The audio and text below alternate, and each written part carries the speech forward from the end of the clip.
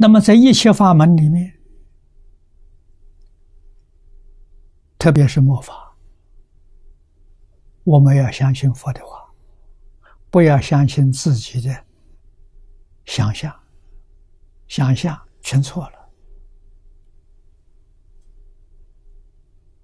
我们现在不能不承认，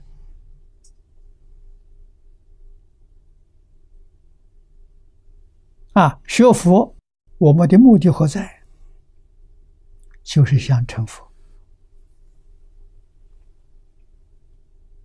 这个想法一点都不错，想归想，成佛可不是容易事情啊。要把三大类的烦恼断得干干净净，就成佛了。啊，你试试看，你能断得了吗？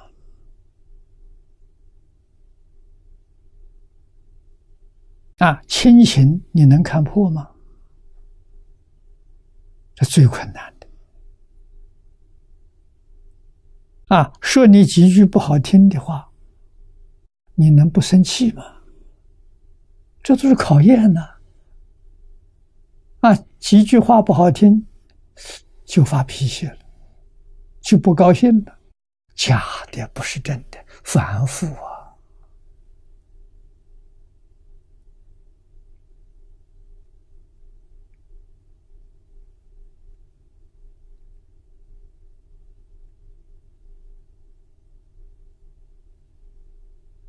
佛法是来真的，不是来假的。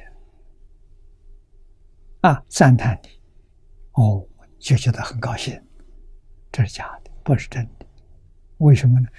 那个轻轻的小风一吹，你就动了。你要练到八风吹不动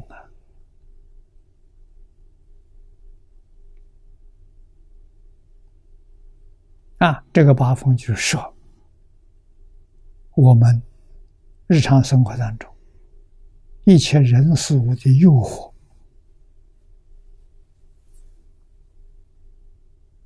你都能如如不动，这是真功夫啊！一动心一动就是妄心，妄心就起烦恼，啊，贪嗔痴慢起来了，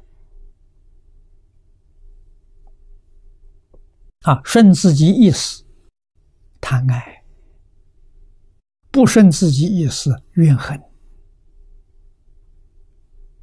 这就造业了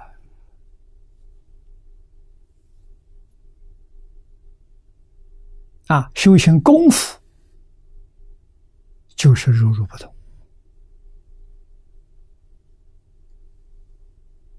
我们看《禅定宝训》，里面有很多老师对学生的考试考验。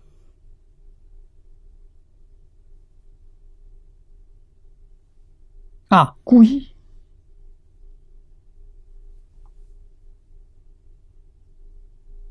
给学生难看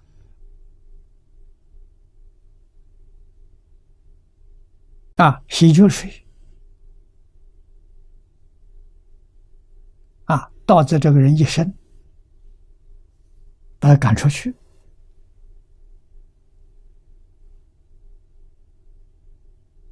学生恭恭敬敬，赶出去不能不出去，出去躲在外面，听老和尚那里的说法，不离开。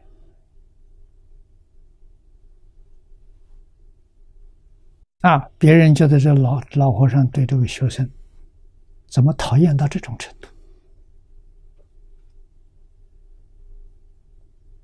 啊，一点情面都不给。啊，他在外面偷听，老和尚知道。过几天，老和尚宣布传法，那传给谁呢？啊，他不干净，讲道，老和尚吩咐人，外面那个偷听的请进来，法传给他了，才知道啊，种种都是考验的。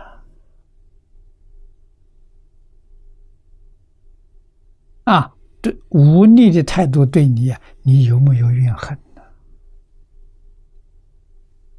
你能不能辨别是非？啊，这老和尚真有道德，那东西想的真好啊！啊，他对我态度不好，算了，我不听他的了，我走了，那机会就失掉了。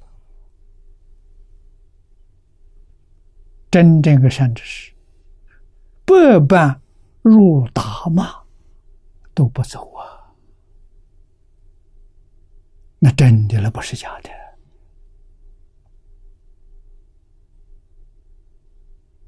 这我们在历史上看到的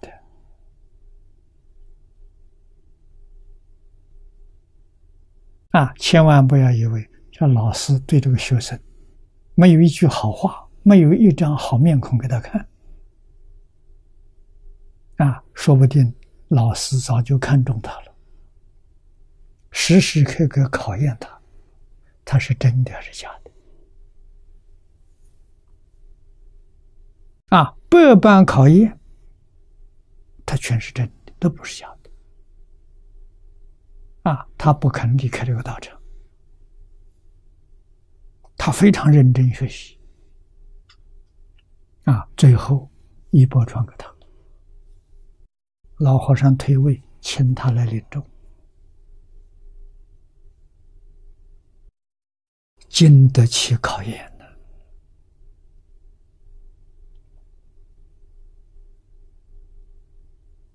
啊，在五灯会员里头、传灯录里头啊，《高僧传》里面都能看到。